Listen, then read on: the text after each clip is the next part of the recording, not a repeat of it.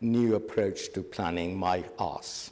if I may say also, Mr. Mayor, that, you know, being Christmas, we are obviously resurrecting ghosts of Christmas past, but frankly, this council has no interest in what happened before.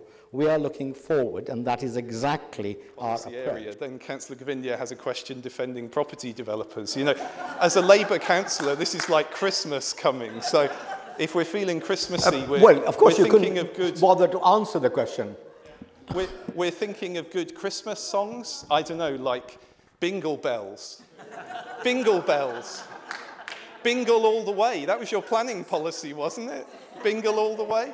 But it's, it's fantastic to have Councillor Govindia back out at this time of year. Bingle bells, bingle bells, bingle all Well- the way, which is a reference to his former flatmate who, in the press, um, has admitted to wanting to sell off council properties in Wandsworth.